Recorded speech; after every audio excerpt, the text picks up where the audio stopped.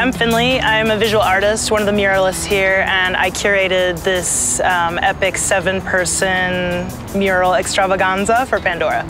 My name is Christina Angelina, aka Starfighter, from Venice, California. I'm Serena, and I am from the East Coast, but I live in LA.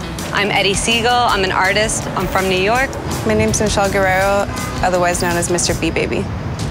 I'm Desiree Kelly. I'm from Detroit, Michigan.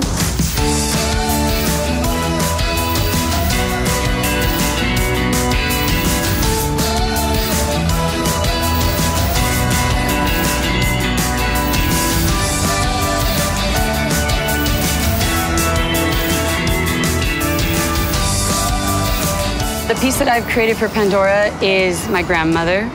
If I think of love, like she's probably the ultimate example of love.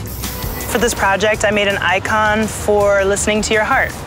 I absolutely fall in love every time I make a painting, and if I'm not in love, I can't finish it and I have to paint over it or start over. My artwork that I'm doing for Pandora, I'm actually using a reference of my daughter and things I love uh, art, painting, culture, music.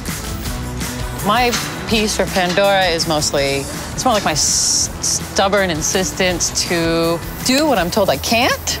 And also, it's a pig that flies. So come on. I mean, like, that is the symbolism of defying the impossible. I love my family and my daughter, obviously. I think those are the two things that forever hold a place in my heart. The artwork I did for Pandora represents adornment, whether it's self adornment or adorning a loved one. And when you love yourself, you're better able to love the people around you.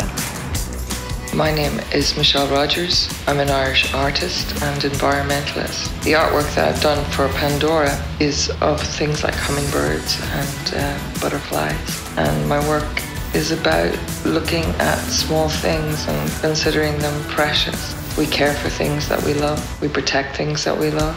Love would be the most important thing on the planet.